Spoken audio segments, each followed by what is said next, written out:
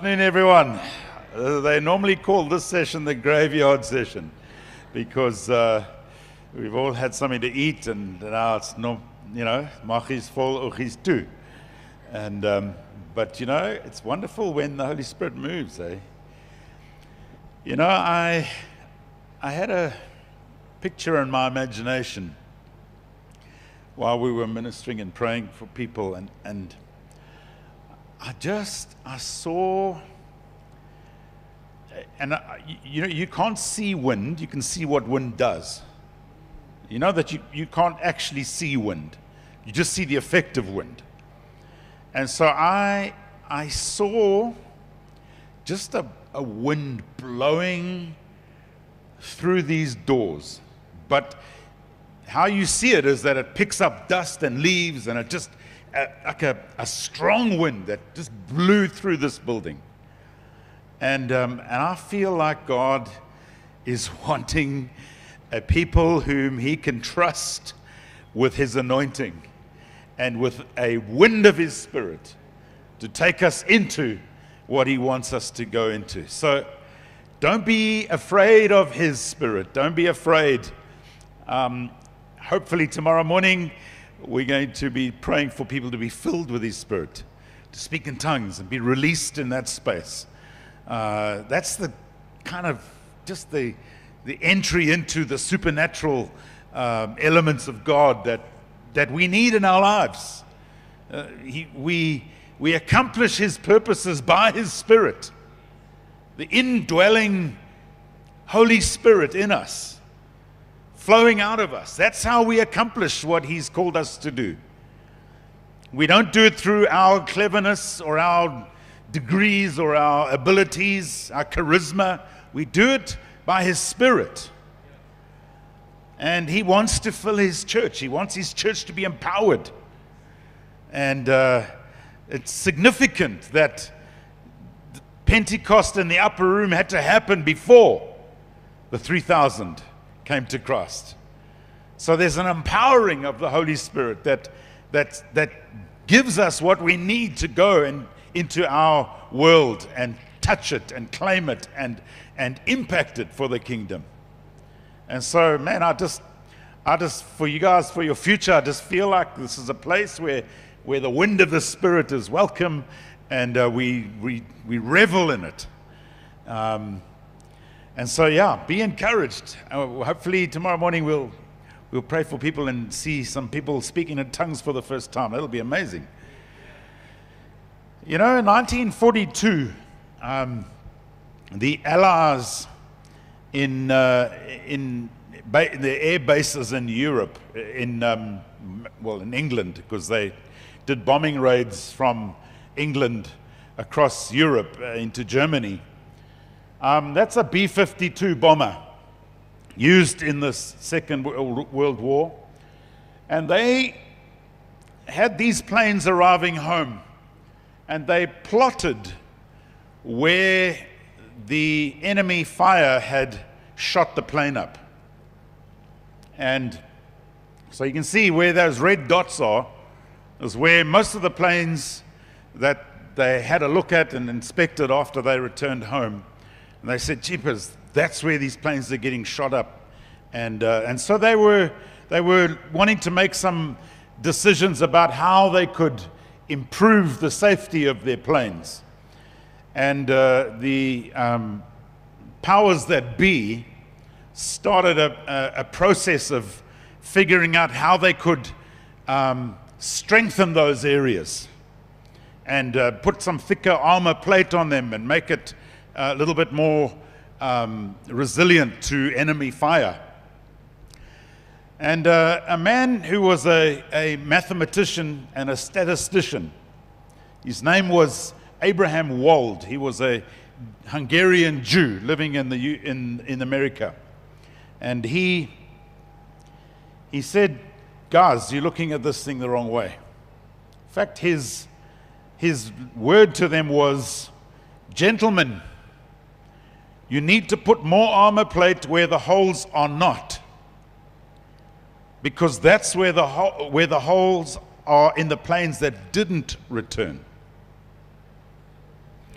So if you put that picture up again, it's coming now. There you go. So where the holes are not,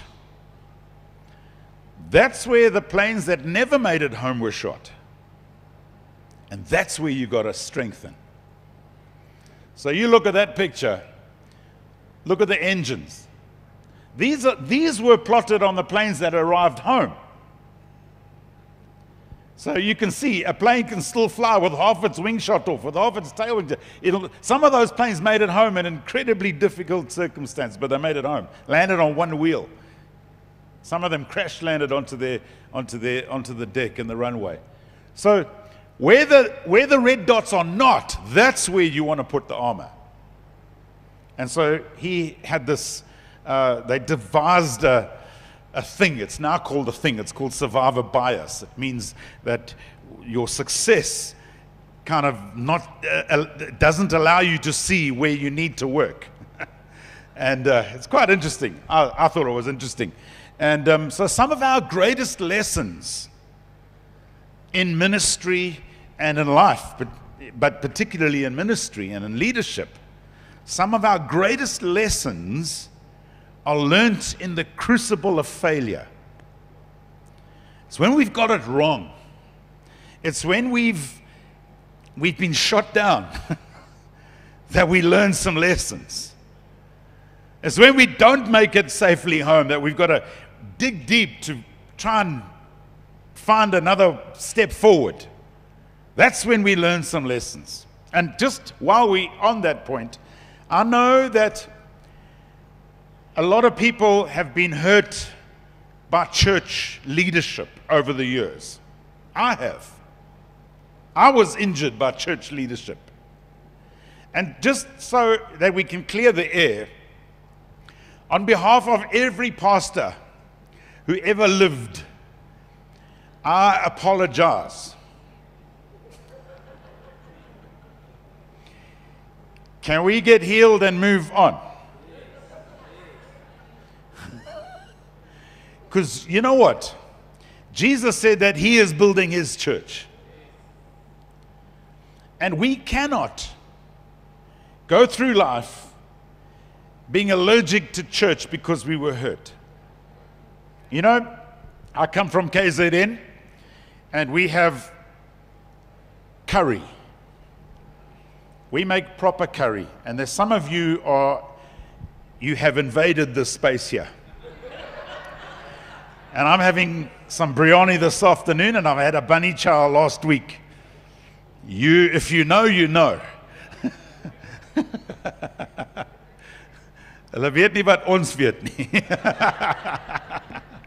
You don't know and all. so, if you, and it's possible because curry is only good curry when it's in, when you buy it at the dingiest looking shabbiest looking place. That's when you get good curries. It's got bars and little place where you put your money and then you get your curry and you go home. It's curry dens are dingy places. They look like that. That's part of the deal. better tasting curry from those places, I promise you. But from time to time, we've had a bad one. Maybe, you know, Auntie left it in the pot overnight and it you know, mutton doesn't like that so much. Chicken doesn't like being reheated. So, but the thing with curry is the longer it's in the pot, the better it tastes. Because the spices just start talking. If you have a bad curry, and we know what happens when we get a, a stomach problem, we stay up all night. But it doesn't mean because we had a bad meal, that we never eat food again. you know, if we have a bad experience, doesn't mean, I go, that's it, I'm done, I'm never eating food again. Some people do that with church. They go, I have a bad experience. And listen, it's not Jesus, it's some of the people that claim to work for him. And then we say, That's it, I'm done. I'm never going back to church again because I got hurt. So I want to apologize on behalf of all pastors everywhere. Um, please, we need to get healed so that we can be effective and continue what God has called us to. You know, we live in this tension. This tension is this on the one side, we have it's a beautiful sentiment or concept that if God, that, that if you can describe your ministry, then God didn't do it. Okay, so, so we got that on this side. On this side, we've got what Paul says in Romans chapter 14, verse 19. He says, Let us therefore make every effort to do what leads to peace and to mutual edification. So here, we've got our effort. And over here, we've got what only God can do. And somewhere in between, we live in this space. So we live in this tension. I do believe that if we can give somebody a recipe of how we did it and how we got to where we got, then God didn't do it, we did. and honestly, when I look at what happened in Hilton, I, it wasn't me. I am not that clever. I was just a bloke who, who, who got very disillusioned with leadership where I was, didn't leave in rebellion, left properly, but said, I'm going to leave that behind and I'm going to press on to what God has for me. And, and because of that, God did something. So I want to encourage you. Sometimes difficulty and places where it's tough produce something that God uses. And so don't, don't, um, don't diminish a bad experience, but learn from it. Don't stay there. Please don't stay there. We can't stay there. We can't live in that place. Got to get over it, got to get healed, got to move on. There are a couple of things that I'd wish that I'd done more uh, in my early years as a church planter. Um, I'll just throw them out to you. I wish that I'd trusted God more. I think I played it a bit too safe. I mean, gee, you move from, you know, you plant a church, you're from Maritzburg and you plant a church to Hilton. It's like seven Ks away. this will be safe. and if it doesn't work, I'll just come back home again. It, was, it wasn't like a massive big step. It wasn't like packing up all our earthly belongings and heading off to another country or, or going far on the other side of, the, of our country. It was a small risk. So I wish that I'd taken bigger risks. Uh, and I don't have any regrets because I, I think the art to good living is to live without regret. That means you bring your A game, you put it all on the table. But in those early years, I, you know, I, if, I, if I knew then what I know now, I would have taken way bigger risks. I would have done way more. I would have been a little more trusting of God and less concerned about my own inability. I think I was limited by operating in my own strength instead of trusting God. So, trust God more. Secondly, I, I would have trusted team a bit earlier. We spoke about playing on a team earlier this morning. You know, I came out of, as I said, a bad experience with a team and with a particular leader on a team. And, uh, and so I was a little bit hesitant to function well on a team. I, I didn't, there was a trust issue, because that's what happens when you get hurt, there are trust issues.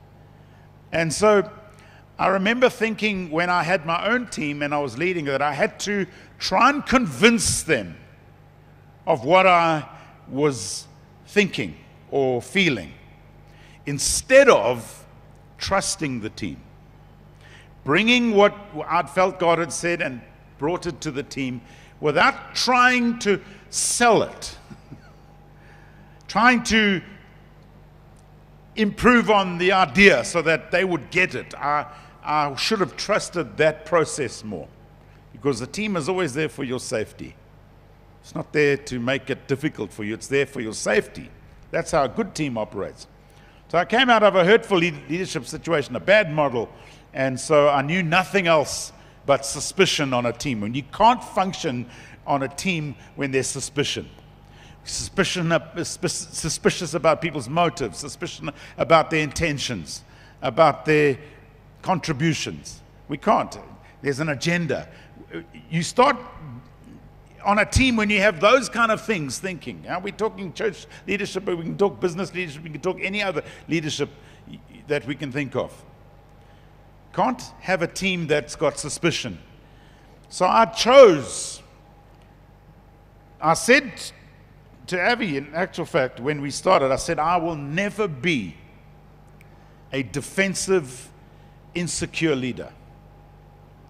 I would never do that because I know what it's like to work for somebody like that.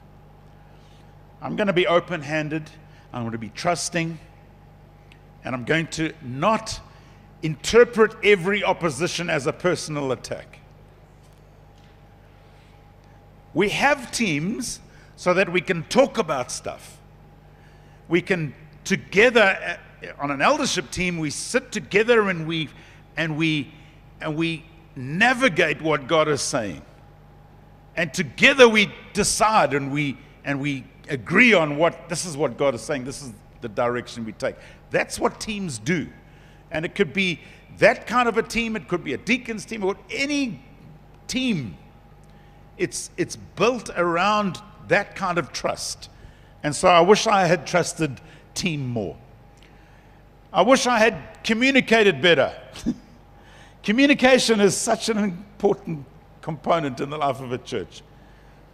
And uh, I wish I'd communicated my dream, what I dreamt of in the life of, of our church, and included more people on the journey. Uh, I wish I'd delegated a bit more and trusted more people instead of doing it all myself, thinking that if I wanted it done right, I would have to do it myself. That's a weakness, it's not a strength. No, strength is delegating finding trustworthy people and depositing into their lives. That's what Paul says. I think a lot in the life of a church rises and falls on good communication.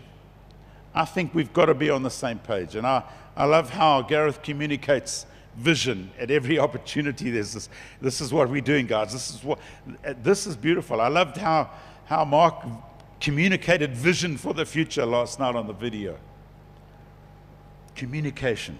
But it's not just standing up there rattling off facts, it's, it's heart engagement. That's how we communicate. I wish I had let the Holy Spirit do his work a little bit more. you know, as leaders, we tend to think we've got to fix everything. And we try to fix everything. We need to give the Holy Spirit space. I had one of, one of my elders on slightly older than me, and and uh, I was kind of that guy that was going like, no, that's wrong, and so and so. We need to, we need to sort that out. And he's going like, Rich, let God deal with it. I'm not saying don't deal with stuff. I'm just saying some things. Let God do it because when God does it, it'll be a permanent job. You get involved, they're going to do it because you want them to change, and it's not going to be changed. They'll, it'll change just when you're around, but when you're not there, it's going to go back to what it was. When God does it, then it's a permanent job. He does it properly. So trust the Holy Spirit to do what He can, what only He can do in people's lives. Sometimes you've got to choose what battles to fight. You know, run ahead of the Holy Spirit. You know, I love Eugene Peterson's uh, interpretation of that passage Matthew that says, Come and learn from me, for my yoke is easy, my burden is light. He says, Come and learn the unforced rhythms of grace. Beautiful, eh? The unforced rhythms of grace. And if we can, if our hearts can find that rhythm, and we can learn just the joy of waiting for the Holy Spirit not be in a rush to do what we think should be done, but to just rest in Him and let those unforced rhythms of grace set the beat. And we march to that drum. I think we'll do better. Sometimes you've got to wait for people. Sometimes we've got to be patient and wait for people to get it. I remember, you know, you, you, you preach your heart out week in, week out. And you get one cat from somewhere else comes and he says stuff that you've been busting your guns off for like months. And then everybody goes, yo, that was amazing, eh? Did you hear what he said? And you go like, hello, where you been? can I just say, the worst thing you can do for your lead pastor, there's one year and there's a, the worst thing you can do is text him a link to a preach. Say, that was amazing. Because he's not going to watch it. Because I don't. Say, oh, send me a ticket. That looks amazing. I don't. Uh, Because that cat's not coming to you when you're sick. He's not coming to pray for you in hospital. He's in YouTube land. He's, he, he, you won't even find him. You can dial a number, you're not going to get him. You can even send him a personal note on the comments, and you're not going to get him. He won't reply. he's going like, yeah, I'm trying my hardest. My, my jeans are wearing thin here because I've been praying, I've been working, I've been, and you give me a clip for a preach that I should go and listen to. it's like, I mean, that'll make him want to pack it in. that's, that's unfair. It's, uh, it's, it's, uh, I know the pain because I've been there. And, uh, and you go like, I've been saying this for how long now and you haven't heard it?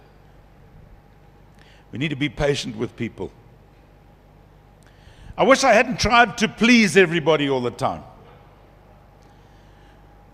And all of us as leaders, people have expectations, but it's not our job to please everybody all the time. And sometimes people are not going to be happy with what you have chosen to do. And you know what? We live in that space. When you put your hand up as a leader, you put your hand up. We, they didn't tell you that when they made you a leader, but I'm telling you now. you put your hand up and you say, I'm willing to be misunderstood and misrepresented for the sake of Jesus. That's what you say. I mean, I, now I'm telling you, sorry, half the hours are leaving now, sorry, but uh, I didn't mean to do that to you. But, but we got to be, have thick enough skin to say, you know what, if I'm misunderstood, and that's fine, I'll, I'll take that on the chin. And I wish that I'd not tried to please everybody all the time.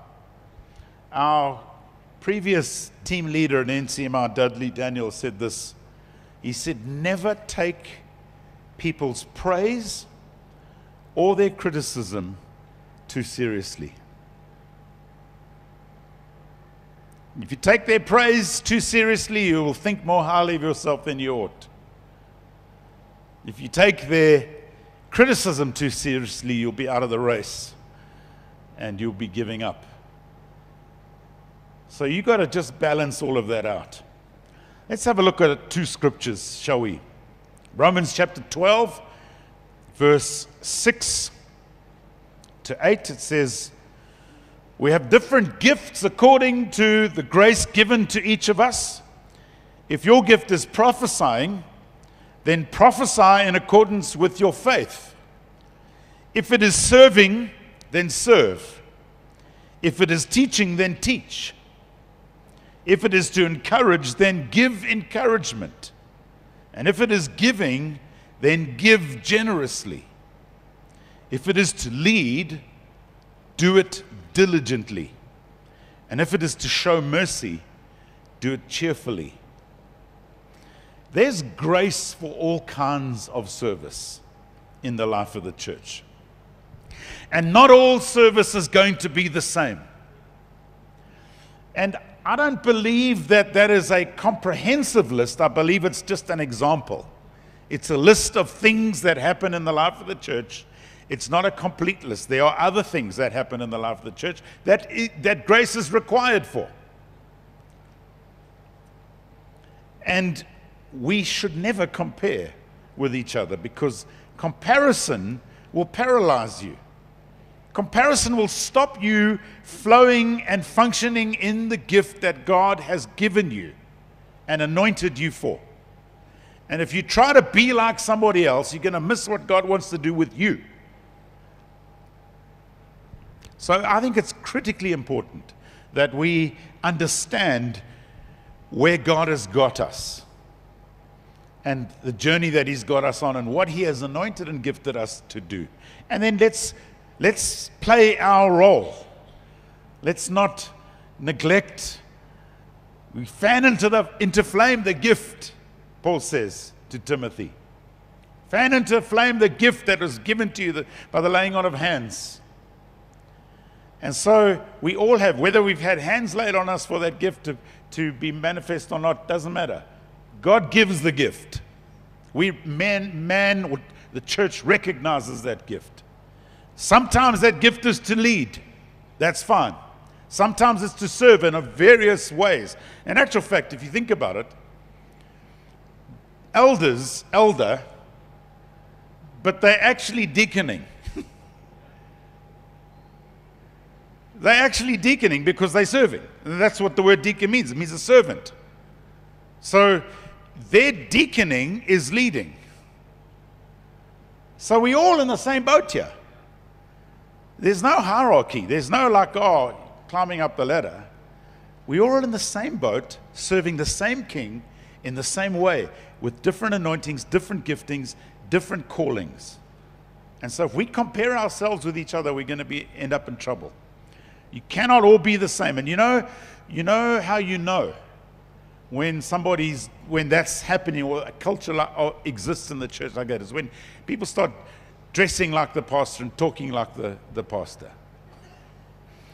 Because he chews gum we chew gum.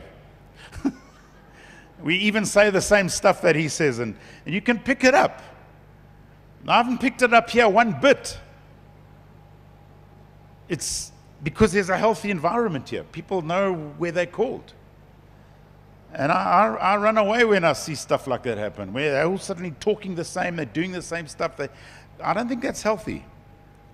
I think that we need to celebrate what God is doing with us, with each of us, because we're a body. Psalm 133, verse 1 to 3 says, How good and pleasant it is when God's people live together in unity It's good and pleasant. It's like precious oil on the head, running down on the beard, running down on Aaron's beard, down on the collar of his robe. That's a beautiful picture of the anointing of God on the priesthood of believers. It's a beautiful imagery there because they anointed priests with oil, poured down, just pour it on. That's how how lavish God wants to anoint us, how lavishly He wants to gift us for the call and the work that He's called us to. But it, it comes when we live together in unity. Because there it says, it's, it's like, and he, he uses these two analogies, the two pictures, like, like this precious oil, and it's also as if the dew of Hermon, which is a high mountain in the north of Israel, we're falling on Mount Zion. Mount Zion's in, in, in Jerusalem. It's dry and dusty. Mount Hermon has, has precipitation on it, it has snow. It is wet and lush. It's as if the dew of Hermon were falling on Mount Zion. For there the Lord commands or bestows his blessing, even life forevermore. Unity, being together united behind what God has given us to do and to be. So there are two beautiful pictures there this dew, this, this life giving moisture that comes out of the earth and the air, and it, it, this, this lovely, lush area where growth happens. It's as if that were happening in Mount Zion, the presence of God. And this beautiful picture of this oil running down Aaron's beard and his coat the anointing of the priesthood of believers to fulfill the call and to be who they're called to be. There's some adjustments that only we can make, and I think I'm just going to end with this, throw some of these out. Only we can decide in our hearts whether we're going to grow in our maturity. We can stunt our growth, we can stunt our maturity, because I think maturity is mission critical for the church. I think mature believers serving the Lord in a mature way, I think that's mission critical. Because you got people that are getting offended, getting upset, getting knocked out of shape. How are we going to shepherd the, the, in, the increase that God's bringing? How are we going to do that if we if we getting all bent out of shape? Mature believers intentionally laying hold of the call of God in their lives I think that's helpful. It's mission critical. Only we can grow in our level of submission. you know, the Holy Spirit can't do that for you. You've got to decide, I'm going to be, I'm going to become mature. You can decide, I'm going to grow in my depth of submission to the leadership that God has placed over me for my own safety. We need each, uh, each other. And we need to be accountable. And I believe that accountability is mission critical. It will make or break where we're going in the future. Same with maturity. You know, when Abraham Lincoln was a candidate for the presidency a number of centuries ago, uh, someone asked him what he thought of, the pros- of his prospects. With, with characteristic humor, he answered, I do not fear Breckinridge, for he is of the south, and the north will never support him. And I do not much fear Douglas, for the south is against him. But there is a man named Lincoln, I see in the papers, of whom I am very much afraid. Because if I am defeated, it will be by that man. We need accountability, all of us. We need to be in accountable relationships with our leaders because we will self destruct if we're not. Every human heart has a proneness to wandering. And being in a body, in an accountable space, will keep us on track. And we need it. Augustine, early church father, said this Thou must be governed that thou mayest govern. so you can't be a leader unless you're submitted. And even if, when I was the lead elder of our church, I was still under the authority of that eldership. I never, I could never act independently of that eldership team. Otherwise, we're just paying lip service to an eldership. We're going, yeah, the elders said it's fun. Well, no, they weren't even asked, or they were asked, but they weren't given the opportunity. So, on the one hand, no elder's a cop keeping the lead guy in check. But on the other hand, the lead guy doesn't have his free rein. And everybody just rubber stamps what he's, what he's, we don't, it's unhealthy. Next one, I think we can grow in our happiness. And you can decide this for yourself. you know, you can decide to be happy or not. I think it's critical for the mission that we are a happy people. What do you think? I mean, would you rather come to a church full of sour faced people that don't really are not friendly? Apparently, it happened once where somebody walked into a church, and it's, it's been researched. Somebody walked into a church and he was a guest, a visitor for the first time. He sat down in a chair, one of the members came to him and said, Excuse me, you're sitting in my chair. Apparently, it happens more often than we think because I've, I've spoken to some leadership teams about that. And, and in most places I go to, somebody says, You know, that happened to me. So we need to be happy.